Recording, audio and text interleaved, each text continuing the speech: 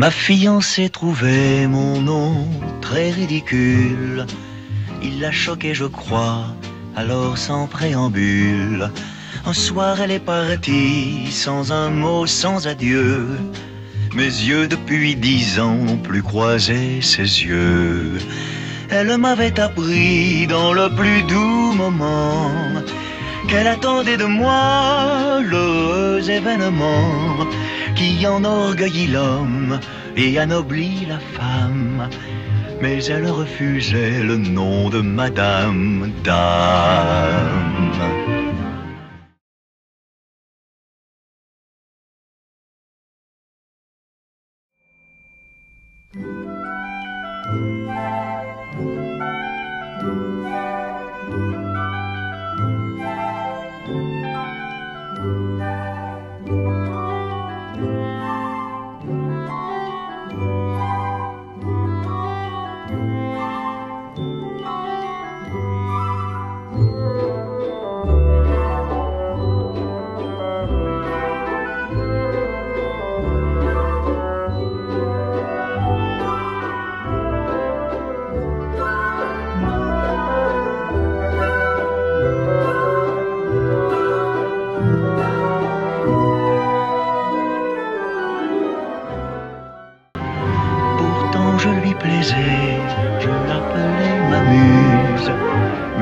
Savais pas, le poète s'amuse, qu'un nom comme le mien pût l'agacer autant.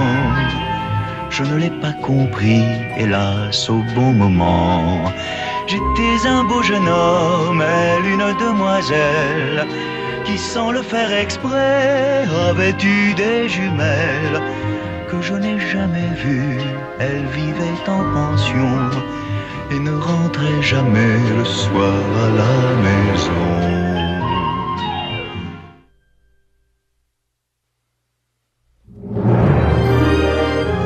J'étais un beau jeune homme, elle une demoiselle, qui sans le faire exprès avait eu des jumelles que je n'ai jamais vues. Elle vivait en pension et ne rentrait jamais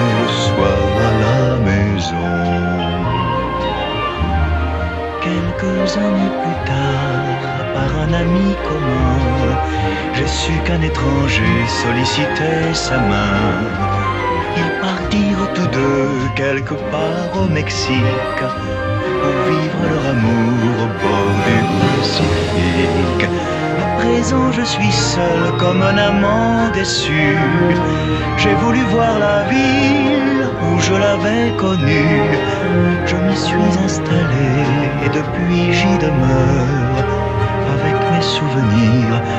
Je joue à cache-cœur.